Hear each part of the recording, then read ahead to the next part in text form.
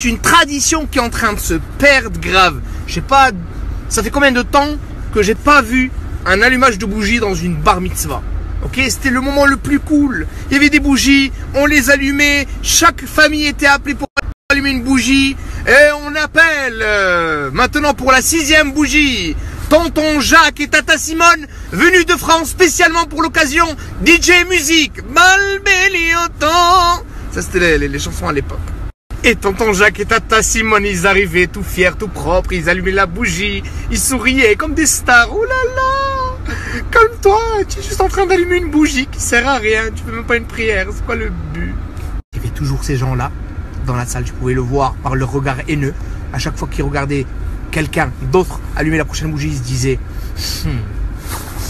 Oh, si on, on nous appelle pas, si je suis pas important pour eux, Attention, pourquoi tu oublies que c'est, mon cousin qui lui a appris la bar mitzvah? Euh, Je suis important, c'est le mon cousin c'est le prof de bar mitzvah. Et, tu oublies que c'est, moi qui lui a référé les fleurs, pour ça elle doit me donner une bougie. Attention, oh, oh, si elle me donne pas une bougie. Allumer une bougie. Et d'habitude c'était ces gens exactement qui recevaient pas de bougie. et ils râlaient. et ils descendaient le prix du chèque qu'ils allaient offrir à cause de ça.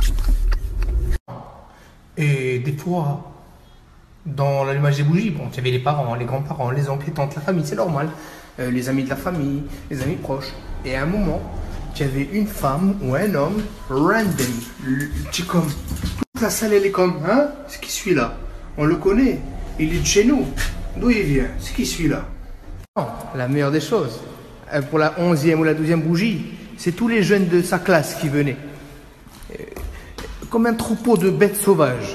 Et attends, c'était, la puberté, c'était l'acné, on transpirait, on était moche, on se poussait, les femmes étaient comme Bobo, la Hanukkah, elle va tomber. Tu te rappelles ce temps-là? Euh, Good times, non?